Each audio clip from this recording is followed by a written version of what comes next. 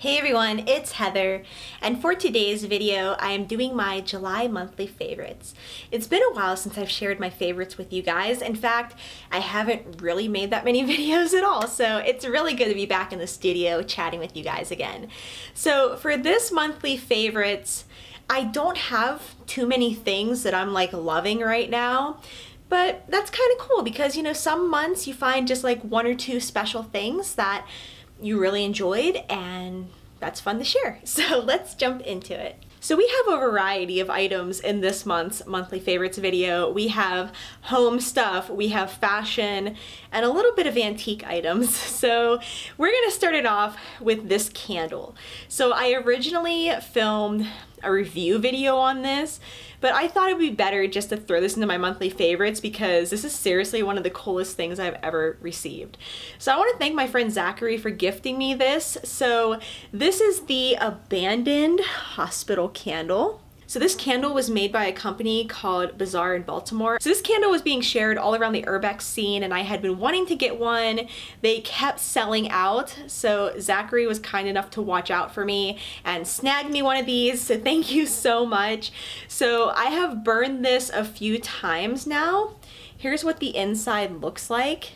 So this is a soy wax and hemp wick candle and it's made to smell like mold, dust, and decay.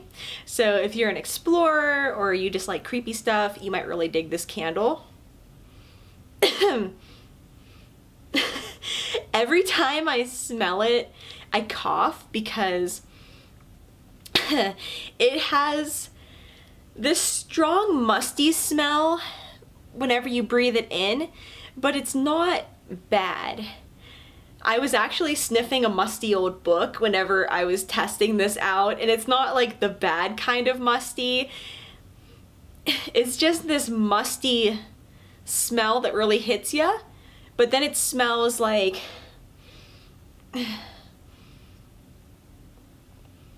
it kind of smells like a man's cologne or I somehow get like a slight vanilla scent. It's so strange for me to explain. Whenever I first was testing it, I wasn't 100% sure if it really smelled like an abandoned building. As you guys know, I am an urban explorer and you should always wear a mask when you're out exploring. I try to a majority of the time. Um, but I do get that musty kind of moldy smell, but it just smells amazing, honestly. Like I, I really have no complaints about this candle. I think it's awesome.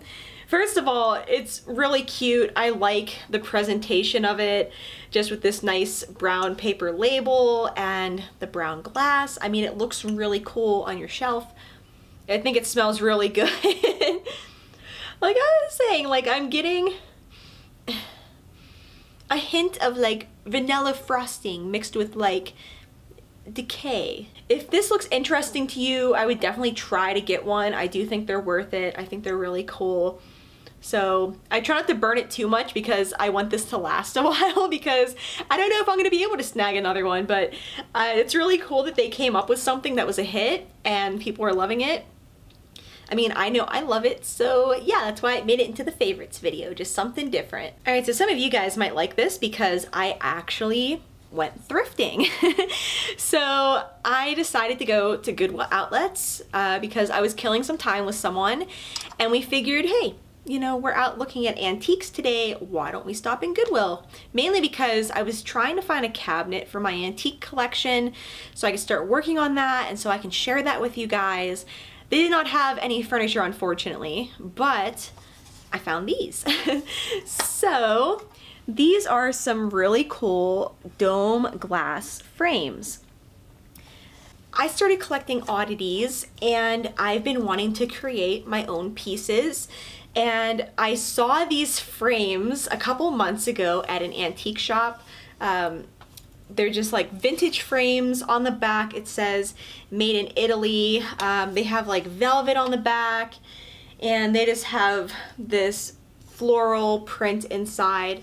Uh, so I saw these at an antique shop really cheap and I regretted not getting them because I could totally put my own velvet backing in there, any kind of backing, and I could create my own art piece in there. I mean, I could put bones in here, I could put hair, I can put little antique finds. There's so many ways you could arrange things in these frames, and I love how it's real glass.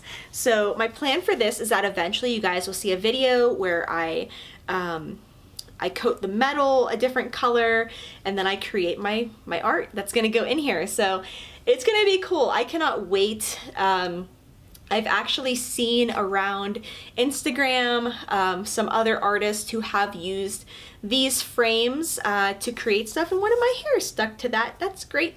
Um, so yeah, other people have, you know, used these frames and I love finding these frames that are almost like a little shadow box if that's the right term for a frame like this because I could put so much in here. It would even be a cool way to display some of my photography collection, you know? So I'm always looking for stuff like this, so I can't wait to actually make something with them. So I actually got both of these for like next to nothing. I think at the outlets I paid like $2 in total for everything I got as usual and that's why I don't go there anymore because it's too addictive. It's too much fun and it's too cheap and I don't need any more clutter. But these, I was like, I will use. So here is another one of my favorite deals from this month. So I went to Gabe's and they were having a huge sale um, and at that sale I found these shoes. Look how cute these boots are. So I pretty much only wear heeled boots. I'll wear flat boots for adventuring. but for the most part, I like to wear my heels. And uh, whenever I saw these little booties, I was so excited. So these are a vegan leather material, AKA uh, plastic, as people want me to say. Actually, on the inside, it says uh, fabric. So we're just gonna call these fabric boots, So some people take issue with me saying vegan leather, you know. So anyway, they're super cute. They are gray and they have these little strips going across the front and like a little buckle and they have like a little bit of um, I don't know dye on them right here. I just thought they were super super cute and I like how they just zip up on the back of your heel. So uh, comfort wise I'm definitely gonna want to get some inserts to wear with these. I've only worn them around the house and I can already tell that like if I wear these out and about, after a bit my feet are gonna hurt. But I think with an insert in them, they're gonna be so cool. I love how they basically go with everything. I love wearing gray and these are just so rad. So guess how much I got these for? They were $6. so you can't beat getting some awesome shoes for $6. All right, so on to some more fashion stuff. So I'm gonna share my favorite bag right now. So this is a Killstar bag and I got this on clearance because I needed a summertime backpack. If you guys remember my bag review video, I bought the Damsel backpack and while it's beautiful and it can hold a lot, um, it's not good to have velvet on my body in the summertime. I learned that the hard way. I wish I had just bought this cheap backpack from their clearance because I love it to death. So the front has a little window on it that's in this studded heart. And then you got plenty of room inside. And I strongly prefer this material over the velvet. It's just easier to keep clean, you know, easier to travel with and not worry about it getting messed up. On the back it has the Killstar logo, of course, and the little Killstar zipper pulls. I love this backpack. I think, you know, for the, I think I paid like, what, $25 for it. I think that's a good deal. Um, it works really well. The zipper works. Um, at first I was like, I don't like the see-through, you know, because with like these Ita style bags, there's normally like a little pocket right here and you can like slip something down in there. But with this one, you can't. It's just there. But I'm okay with it now. It's whatever. I actually kind of like having a see-through backpack because some places around here are really suspicious about backpacks, even if they're smaller like this.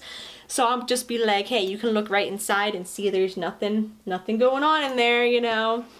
So also in here, I have this phone case that everywhere I have had this phone case out, someone has complimented it and they really, really like it. It's kind of like a recolor of Marie from Aristocats, but she has kind of like a Sailor Moon styled moon on her head and then she has these little bat wings.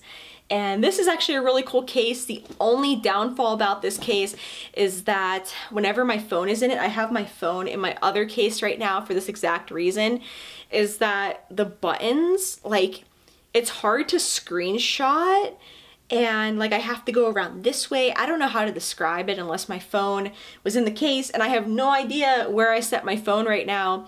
But I do like how it made my phone heftier, my phone felt more protected, and it looked really cute, you know, for pictures of me with outfits to be holding this like big, cute, adorable cat.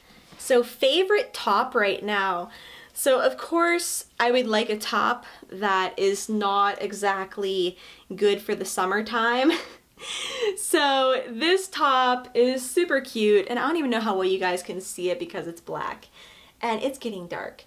But um, I need to wash this and it's gonna go in the wash after I'm done filming. But it has these sleeves that are kind of like belled. And then on the chest is this gorgeous piece of sheer lace. And that's probably my favorite part is this little lace window. The top, which has makeup on it, just has this kind of like slightly ruffled high neck collar. Um, and then the sleeves have little ruffles. Unfortunately, like they're not perfect. Like one of the sleeves was kind of wonky. So I just need to kind of uh, fix that up a little bit. But otherwise, it's so comfy and breathable. It's a very light material. And this is definitely like my favorite Killstar top that I have gotten. Probably my favorite piece of Killstar clothing in general, other than my boots this would have to be it. I definitely recommend this top. It's really, really cute. So I bought something this month that I can't wear until fall. but I've been looking for one of these and I decided to treat myself. So I was at a store at the mall and I saw this jacket. Now I have been wanting to replace what I call my explorer jacket. It's this vegan leather jacket that I always wear in my old videos and it had a hood on it. Well that thing, it doesn't look very good on me. It's pretty big on me now and the hood's just kind of a pain to clean. so I decided that it was time to upgrade my explorer jacket to something else and I finally got this beauty, even though like I said, I can't wear it for like another, you know, couple of months. so I felt really silly buying it. And I think some people were actually like giving me a hard time for buying it right now. Um, but it was a really affordable price and I knew that it was everything I wanted in a jacket. And so I figured I would just get it and if anybody wanted to say anything about it, well, they can do that because I like it. All right, so here is the jacket. You guys may have seen this in some of my photos. So I think my favorite thing about the jacket are these little pad things on the side. And I have been looking for a jacket that had those. I just think they add a really nice touch. It looks like, yeah, they go all up on the shoulder. I love that. It's really comfortable. Uh, for me, jackets are always kind of tight right here, but this is actually pretty comfy. Um, I can't seem to get away with jackets that are more fitted in the body because then they always end up being way too tight in the arms. But this is great. It's gonna be super cute for fall. I can't wait to wear this. I'm basically gonna live in this jacket in like two months. So I really don't regret buying it now. It was like the one item that I treated myself to at the start of the month and it was pretty cheap so I don't feel bad at all about it. The material is really soft and it's comfy.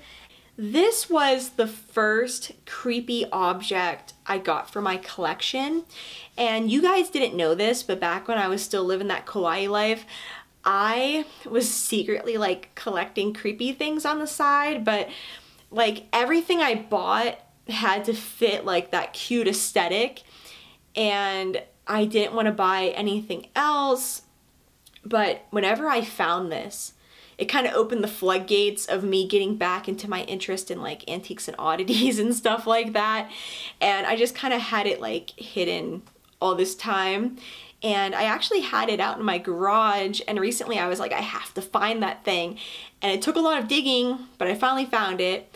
So I want to introduce you guys to Eyeball Mirror. So here it is. This is Eyeball Mirror. You can see the reflection of my ring light in it. So it's this mirror that for some reason has an eye on the top. And I always thought it was so cool. It actually looks just like pictures I took when I was like 17 of myself because that's how I used to do my eyeliner. So it looks like my eyes, which is the craziest thing. I have no idea of how old this piece actually is. Um, I would just say vintage, you know? Um, I was thinking like, is this something you can get at Home Goods? I don't know. I just remember I was going through a bin at the thrift store and all of a sudden I saw this eyeball and I just felt like this intense like energy coming from it. Like it was just so intense for some reason. I was almost afraid of it, which made me want it.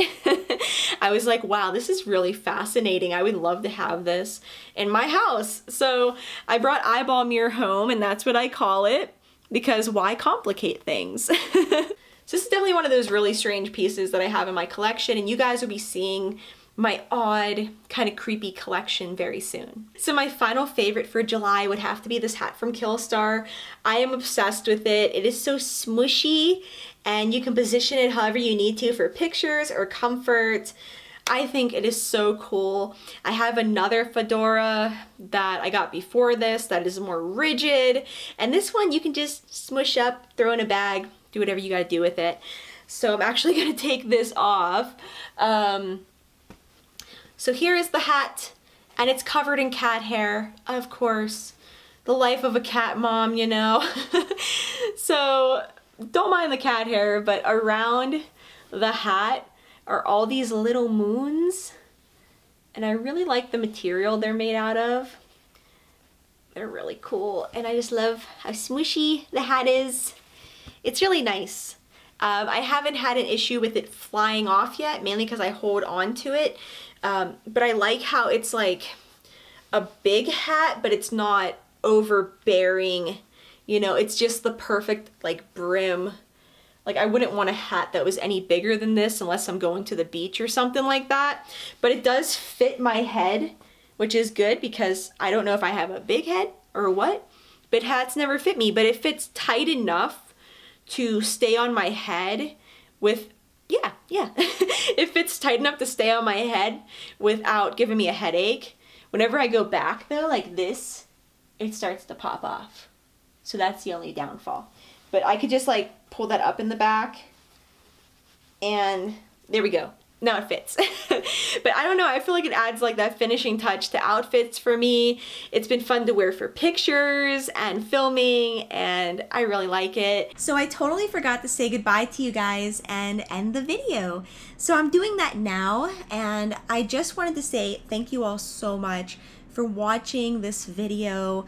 I know my past two videos have just been silly stuff, but the more serious content is on the way. I feel really re inspired now as a content creator. The past couple months have been crazy, but over that time period, I learned a lot of new things and I figured out what exactly I want to share here on YouTube.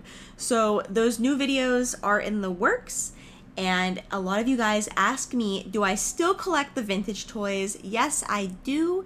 And I'm going to be doing a series called Toys from the Past.